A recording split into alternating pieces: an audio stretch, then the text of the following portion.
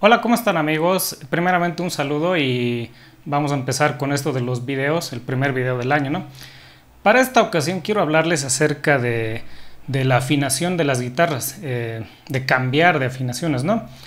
Bueno, como saben, eh, yo uso puentes flotantes tipo Floyd Rose y bueno, y lo que muchos me dicen acerca del Floyd, este puente, este video no habla de Floyd, ¿no? Pero les voy a comentar, ¿no? Me dicen que no usan Floyd Rose porque no pueden cambiar de afinación. Porque esto se, mueve, se, sube, se baja. ¿no? Eso es, algo muy complicado hacerlo con un puente tipo Floyd Rose. Y, y muchos me dicen, eh, yo uso un puente tipo Tunomatic, Hardtail, donde sí pueden cambiar de una afinación estándar, se pasan a re, se pasan a do, se pasan así, afinaciones abiertas y demás.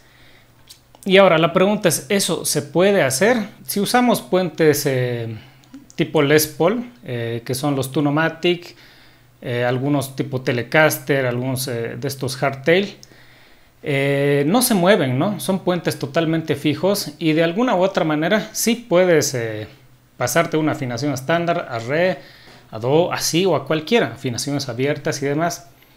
De poder se puede, a grandes rasgos no trae muchas complicaciones pero lo que muy pocos hablan de las consecuencias que esto trae. Entonces ahora les voy a mostrar eh, cómo se comporta el alma de una guitarra, ¿no? Entonces el alma eh, adquiere una curva natural en base a la tensión de las cuerdas. Si tengo una, guitarra afinada en, en mi con un calibre determinado de cuerdas, eso va a ejercer cierta tensión en el diapasón. Y eso va a hacer que eh, adquiera una curva natural según cómo ajustes el, tensor. ¿no? Puede que eh, el, brazo quede de esta manera, totalmente con una curva así muy pronunciada. Puede quedar eh, con una curva mínima o puede quedar totalmente al revés, ¿no? como les voy a mostrar en imágenes. Eso eh, corresponde a la calibración, ¿no? Depende de cómo vas a calibrar el instrumento, va a quedar de determinada manera, ¿no? Eh, por decir, yo calibro mi instrumento a una afinación Mi estándar eh, con un calibre de cuerdas determinado, vamos a decir un 0.10. En una calibración óptima, el diapasón tiene que quedar de esta manera, como lo voy a poner en imágenes, ¿no? Esta calibración óptima está directamente para esa afinación y para ese calibre de cuerdas. Pero, ¿qué pasa si cambiamos la afinación? Al cambiar la afinación, obviamente el, tensor, el alma, eh, va a reaccionar a eso. Entonces, como hemos ajustado el alma a cierta tensión de las cuerdas, va a reaccionar de diferente manera. Si vamos a aflojar las cuerdas y la vamos a dejar de mi a do, el alma también va a reaccionar de diferente manera. Entonces, esto va a causar un, eh, un efecto directo en la acción. Si soltamos las cuerdas, el alma ya no se va a comportar como lo hemos calibrado. Si tenías una acción eh, relativamente baja y cómoda, hacer estos cambios no es para nada buena idea, porque tu calibración se va se va, va, a cambiar, ¿no? Los, los niveles, va a cambiar, eh, va, a cambiar la acción, ¿no? Te puede llegar a trastear o te puede llegar a, a, tener una acción demasiado alta y bastante incómoda, ¿no? La octavación también puede variar un poco. Eh, tener un puente fijo y cambiar de afinaciones no es tan fácil como se cree. Lo correcto es, eh, si tengo una guitarra de puente fijo, la calibro en mi con la altura ideal y la octavación ideal, la tenemos que dejar ahí. Si para, para otro determinado proyecto quiero afinarla en Do, tengo que cambiar la calibración, tengo que ajustar el alma, tengo que ver si, la octavación corresponde y, está todo óptimo. Si no corresponde, ya también hay que empezar a octavar de nuevo la guitarra.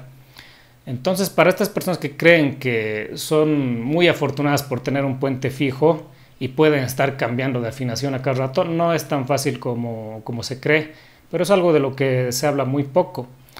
Eh, salvo, salvo que tengas una acción exageradamente alta, y obviamente tienes un rango suficiente para que baje o suba y no te afecte, ¿no? Pero tampoco es lo, ideal, ¿no? Acciones muy altas corresponden también a que la guitarra no entone de manera, de manera ideal. Cuidar la altura es una de las cosas más importantes y la altura se la define por tres cosas. Se la define por la altura eh, ideal de la cejilla o nud.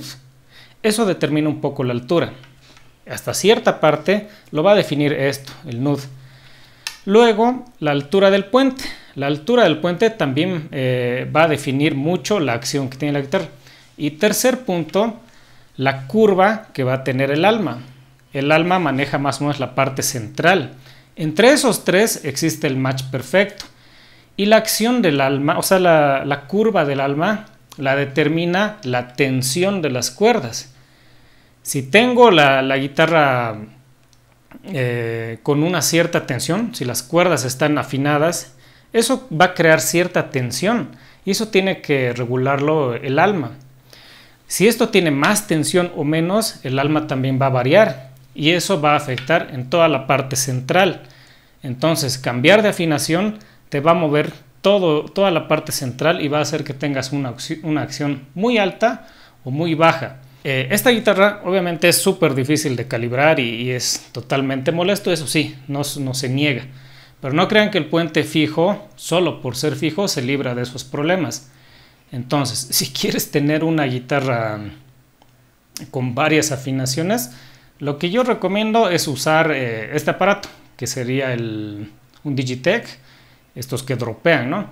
Muchos eh, procesadores modernos también tienen la opción de dropear. Lo malo es que afectan un poco en el sonido, ya a fuertes volúmenes y cuando es una distancia muy, eh, muy extensa de, notas que quieres dropear, se, nota, se deteriora un poco el sonido. Lo ideal aquí es tener ah, varias guitarras con varias afinaciones y calibradas eh, de manera ideal para cada afinación. Eh, entonces son las recomendaciones. Traten de, tener en cuenta mucho eso y darle a su instrumento el, mantenimiento ideal. Recuerden que el mantenimiento ideal se hace para cada afinación. Cada afinación, cada calibre de cuerdas requiere un mantenimiento especial para esa afinación. De manera que no podemos estar cambiando. No es lo ideal. Se puede, pero no es lo que yo recomiendo y no es lo ideal a menos que solo tengamos una guitarra y tengamos y no dispongamos de este pedal para dropear, ¿no? Ahí sí, ni modo, hay que es con lo que uno tiene, ¿no?